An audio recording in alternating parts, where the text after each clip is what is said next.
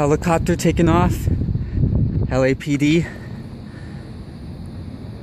Gotta be careful. It's crazy.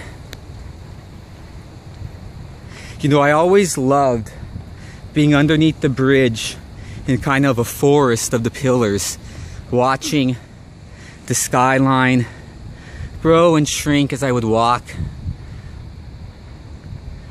back and forth, my comings and goings, watching these, the skyline, this downtown skyline that's ever growing, watching it get framed in between all of this beautiful, beautiful, beautiful concrete and arches. But this is really all that's left. They blocked access to the riverbed. We're not able to get down there. We're not able to get up on top to our spot. It's as close we can as we can get. So, you know, we're gonna enjoy every moment that we can. I'm gonna miss you, old girl.